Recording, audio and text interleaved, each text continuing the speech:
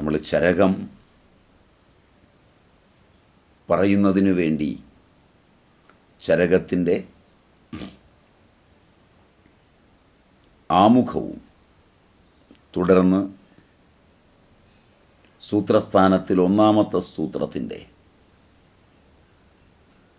തുടക്കവും ആയി. ശരീരത്തിന്റെ മൗലിക ഘടകങ്ങളായ കോശസമൂഹത്തിന്റെ.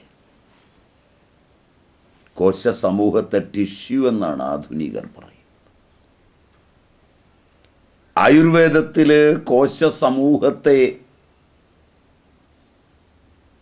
രസം രക്തം മാംസം മേധസ് അസ്ഥി മജ്ജ ശുക്രം എന്നിങ്ങനെ തിരിച്ചാണ് പറയുന്നത്. സ്വഭാവത്തിൽ സമാനതകളുള്ള കോശങ്ങൾ പചനത്തിന്റെ ഓരോ ഘട്ടങ്ങളിൽ അന്നം രൂപാന്തരം പ്രാപിച്ചു വന്ന കോശങ്ങൾ. അന്നത്തിന്റെ ജഡരാഗ്നിയിൽ ഭൂതാഗ്നിയിൽ ഒക്കെ പചിച്ചു വന്ന് ധാതുക്കളായിത്തീരുന്ന ധാതുപാകം. ആ കോശങ്ങൾ ഒരു സമൂഹമായി ഒരേ മാതിരിയുള്ള പ്രവർത്തനങ്ങളെ ചെയ്തുകൊണ്ട് ആരോഗ്യത്തിനുതകുമാറ് ശരീരത്തിൽ നിലകൊള്ളുമ്പോൾ നമ്മുടെ ആരോഗ്യത്തെ നമ്മിലുണ്ടാകാവുന്ന രോഗങ്ങളെ നമ്മുടെ ജീവിതത്തെ ഒക്കെ കോശസമൂഹം എങ്ങനെ രസം എന്ന ധാതു എങ്ങനെ അത് പചനത്തിന് വിധേയമായി രക്തമാവുമ്പോഴെങ്ങനെ? രക്തത്തിന്റെ പ്രത്യേകതകൾ. അതെങ്ങനെ ഒരു സമൂഹമായി നിലനിന്നുകൊണ്ട് നമ്മെ സഹായിക്കുന്നു? ആ കോശങ്ങൾ മാംസമായി തീർന്ന് ശരീരത്തിൽ ശരീരമെന്ന് പറയാവുന്ന മാംസധാതുവിന്റെ. അത് വീണ്ടും പരിണമിച്ച് മേധസ്സാകുന്നതിന്റെ. ആ മേധസ്സു വീണ്ടും പരിണമിച്ച്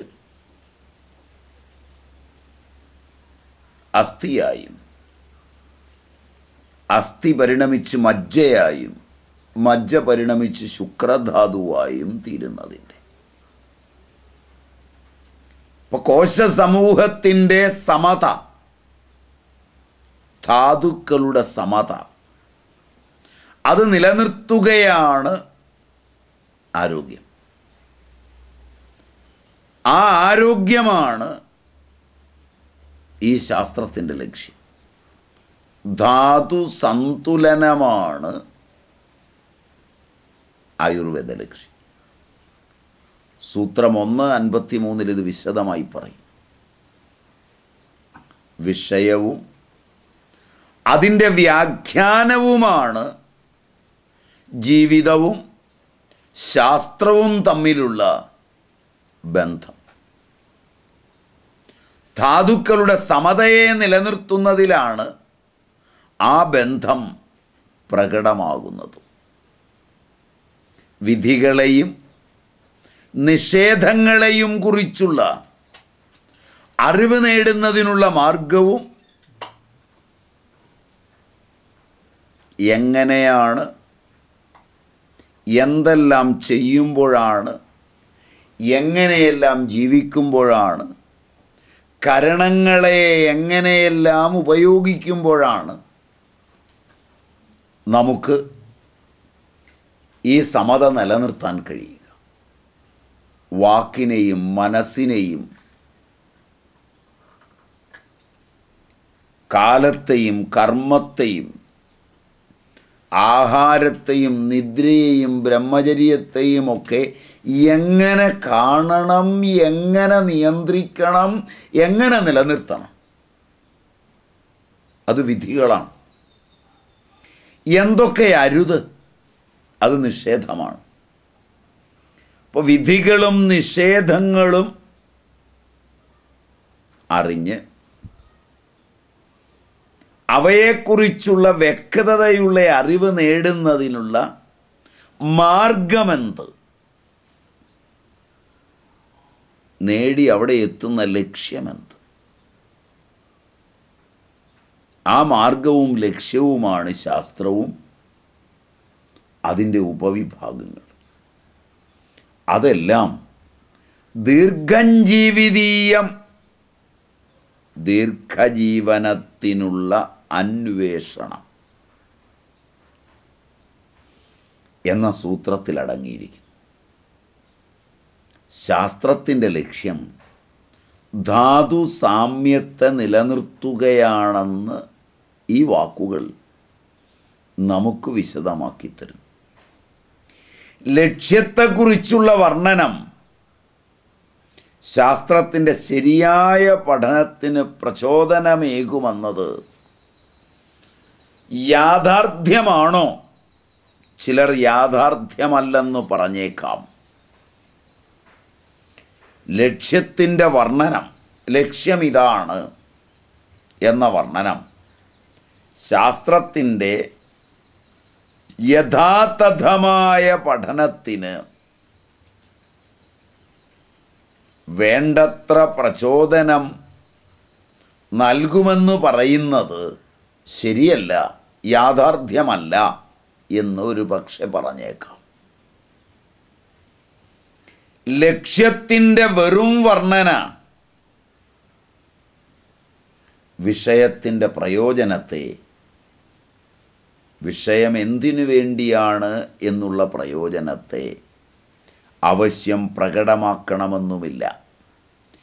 ലൗകിക ബന്ധങ്ങളിൽ നിന്ന് മോചനത്തെ വാഗ്ദാനം ചെയ്യുന്ന അനേകം കൃതികളുണ്ട്.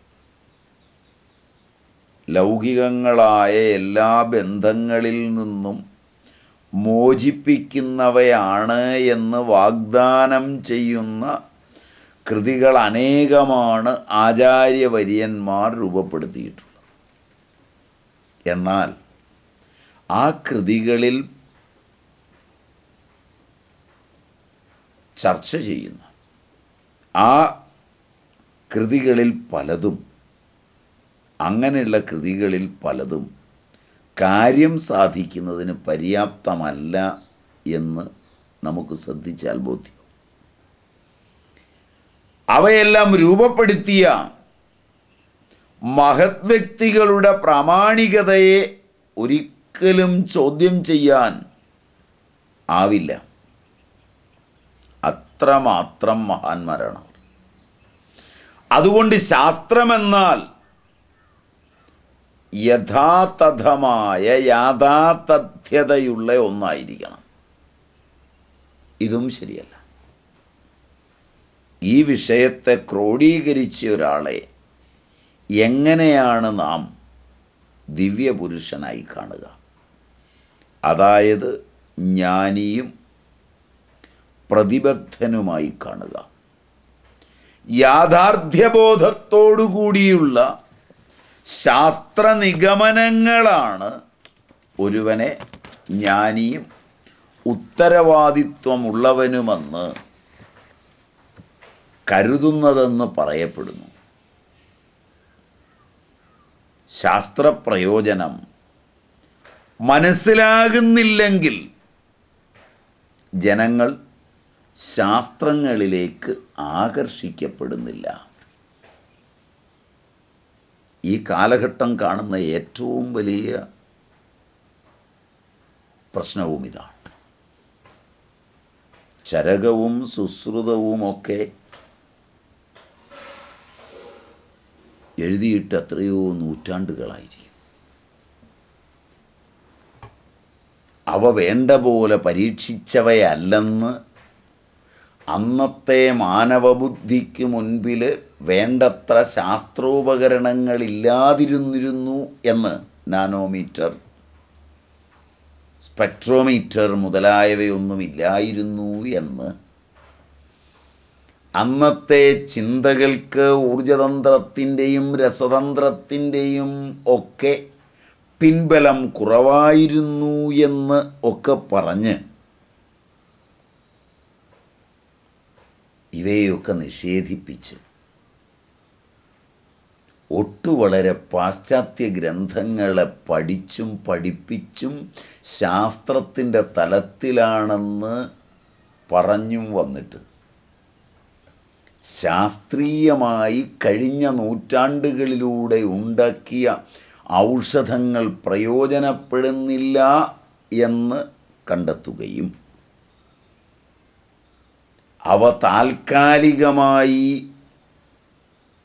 മനസ്സിന് അവയോടുള്ള ബന്ധം ഒന്നുകൊണ്ടു മാത്രം കൊട്ടിഘോഷിച്ച ശാസ്ത്രത്തോടുള്ള ആദരവിന്റെ പേരിൽ താൽക്കാലികമായി തോന്നിയ സുഖം എന്ന ഒരു വിഭൂതി കഴിഞ്ഞ്. ആ ഔഷധങ്ങൾ ഓരോന്നും അവയ്ക്കു കൊടുത്ത പരസ്യത്തിന്റെയും അവ കണ്ടെത്തിയവരുടെ വിദ്യാഭ്യാസ യോഗ്യതയെക്കുറിച്ചുള്ള അതിശയോക്തികളുടെയും അവ പ്രചരിപ്പിച്ച ഉന്നത ശീർഷരെന്ന് നടിക്കാവുന്ന വലിയ വലിയ കമ്പനികളുടെ പരസ്യങ്ങളുടെയും അടിസ്ഥാനത്തിൽ മസ്തുളങ്കത്തിൽ ലഭിച്ച താൽക്കാലികമായ അനുകൂലമായ ഒരറിവ് സുഖം എന്നു തോന്നിയതിനപ്പുറം ആ ഔഷധങ്ങൾ ശരീരത്തിൽ പാകമെത്തി പ്രവർത്തിക്കാൻ തുടങ്ങിയപ്പോൾ അനവധി ദുർനിമിത്തങ്ങൾ. ദുരദുഷ്ടങ്ങളായ ഫലങ്ങൾ. അനേകം പുതിയ രോഗങ്ങൾ പ്രയോഗിച്ചവരിലും അവരുടെ അടുത്ത തലമുറകളിലും ഒക്കെ ഇന്ന് ആവിർഭവിക്കാൻ തുടങ്ങിയിരിക്കുന്നു.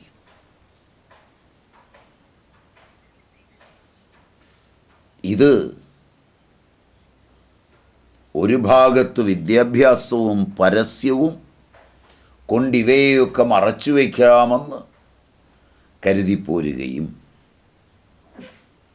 പരസ്യങ്ങളും വിദ്യാഭ്യാസവും മതിയാകാതെ വരുന്നിടത്ത് ഭരണാധികാരികൾ നിയമനിർമ്മാണം ചെയ്ത് അടിച്ചേൽപ്പിച്ച് നിലനിർത്താമെന്ന് വിചാരിക്കുന്നു. ഭരണാധികാരികൾ അടിച്ചേൽപ്പിച്ച് നിലനിർത്തുന്നത് പോരാ എന്ന് തോന്നുന്നിടത്ത് ഈ ആധുനിക മരുന്നുകളുടെ വ്യവസായികളും ഈ ആധുനിക മരുന്നിന്റെ പേരിൽ വലിയ പഠിപ്പ് നേടി വൻ ശമ്പളം വാങ്ങുന്ന പിശഗ്വര പ്രമാണിമാരും സംഘടിച്ച് സംഘടിത ശക്തി ഉപയോഗിച്ച് ലോകത്തെ ചൂഷണം ചെയ്യുവാൻ പാകത്തിന് ഭരണാധികാരികളെ മുൾമുനയിൽ നിർത്തി കാര്യങ്ങളെ നേടുന്നു. ഇങ്ങനെയെല്ലാമായിട്ടും ക്ഷണിക കാലത്തിനുള്ളിൽ ഉണ്ടാവുകയും ഈ ആടോപങ്ങളൊക്കെ കാട്ടിക്കൂട്ടുകയും ചെയ്തത് പ്രയോജനമെന്ന തലത്തിൽ ജനങ്ങൾക്ക് മുമ്പിലേക്ക് എത്തുമ്പോൾ വലിയൊരു ചോദ്യചിഹ്നമായി നിൽക്കുകയാൽ ജനങ്ങൾ പുറംതിരിഞ്ഞു പോകാൻ തുടങ്ങുന്നിടത്താണ് നാം ഇന്ന് നിൽക്കുന്നത്. അപ്പോൾ വ്യക്തിയുടെ മഹത്വം മഹത്വത്തെക്കുറിച്ചുള്ള പ്രയോ പ്രചാരണം ഇവയ്ക്കെല്ലാം അപ്പുറം ശാസ്ത്രപ്രയോജനം മനസ്സിലാകുന്നില്ലെങ്കിൽ ജനങ്ങൾ ശാസ്ത്രത്തിലേക്ക് ആകർഷിക്കപ്പെടുന്നില്ല. ഇനി ജനങ്ങൾ ഏതൊരു ശാസ്ത്രത്തിലേക്ക് ആകർഷിക്കപ്പെടുന്നില്ലയോ? ചരകത്തിന് വ്യാഖ്യാനം ചമയ്ക്കുമ്പോൾ ചക്രപാണി അസന്ദിഗ്ധമായി പറയുന്നത്. ജനങ്ങൾ ഏതൊരു ശാസ്ത്രത്തിലേക്ക് ആകർഷിക്കപ്പെടുന്നില്ലയോ? അത് നിഷ്പ്രയോജനവുമായിരിക്കും. അപ്പോൾ പ്രയോജനം ലഭ്യമാവുകയോ തൽക്കർത്താവിന്റെ പ്രാമാണ്യം നിശ്ചയമാവുകയോ ആ സന്ദർഭത്തിൽ ഉണ്ടാവില്ല. ശാസ്ത്രം നിഷ്പ്രയോജനമാവുകയും ജനങ്ങൾക്ക് പ്രയോജനപ്പെടാതിരിക്കുകയും ജനങ്ങൾ ശാസ്ത്രത്തിലേക്ക് ആകർഷിക്കപ്പെടാതിരിക്കുകയും ചെയ്യുമ്പോൾ പ്രയോജനം ഇല്ലാത്ത അവസരത്തിൽ ശാസ്ത്രത്തിന് പ്രയോജനം ഇല്ലായ്മ തൽക്കർത്താവിന് പ്രാമാണ്യമില്ലായ്മ രണ്ടുമുണ്ടാവും എന്ന് ശക്തമായ ഒരു പ്രശ്നവും കൂടി ഉടലെടുക്കും. ഏതൊരു ശാസ്ത്രത്തെ സംബന്ധിച്ച് പറയുമ്പോഴും അതിന്റെ പ്രോദ്ഘാടകന്റെ പ്രാമാണ്യം ഉറയ്ക്കാതെ തന്റെ കണ്ടെത്തലുകളെക്കുറിച്ചുള്ള തന്റെ കണ്ടെത്തലുകളുടെ പ്രയോജനത്തെക്കുറിച്ചുള്ള അദ്ദേഹത്തിന്റെ പ്രഖ്യാപനങ്ങളെ എങ്ങനെ വിശ്വസിക്കും? അതുകൊണ്ട് ഈ വിഷയം ഒരു ചക് ചാക്രികാപത്തിയാണ്. അതുകൊണ്ട് ശാസ്ത്രപ്രയോജനം ശാസ്ത്രകാരന്റെ പ്രാമാണ്യം രണ്ടെണ്ണമാണ് നമ്മുടെ വിഷയം. ശാസ്ത്രത്തിന്റെ പ്രയോജനവും ശാസ്ത്രകാരന്റെ പ്രാമാണികതയും കാലദേശങ്ങളുടെയും അതിൽപ്പെട്ട ജനങ്ങളുടെയും വിശ്വാസ പ്രമാണങ്ങൾ അപ്പോൾ ജനതയെ നയിക്കുന്ന ഭരണാധികാരികളുടെയും പരിഷ്കർത്താക്കളുടെയും സമീപന രീതികൾ എന്നവയെല്ലാം ചേർന്നാണ് പോകുന്നത്. ജനങ്ങളെ നയിക്കുന്നത് പലപ്പോഴും ഭരണാധികാരികളും അവരോടൊപ്പം സാമൂഹ്യ പരിഷ്കർത്താക്കളുമാണ്. അന്ധമായാണ് ജനങ്ങൾ ഭരണാധികാരികളെയും സാമൂഹ്യ പരിഷ്കർത്താക്കളെയും വിശ്വസിക്കുന്നത്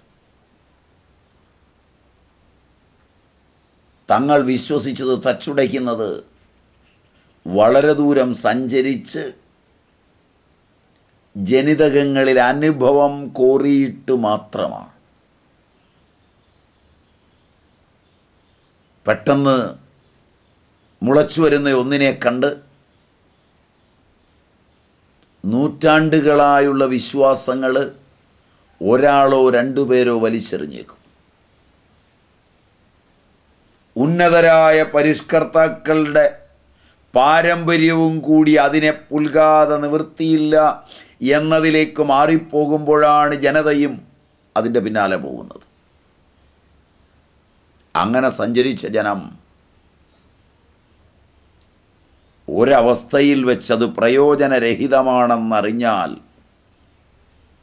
കുറച്ച് കാലത്തേക്ക് തങ്ങൾ സഞ്ചരിച്ചു പോയല്ലോ എന്നും മമത പുലർത്തിപ്പോയല്ലോ എന്നും ഓർത്ത്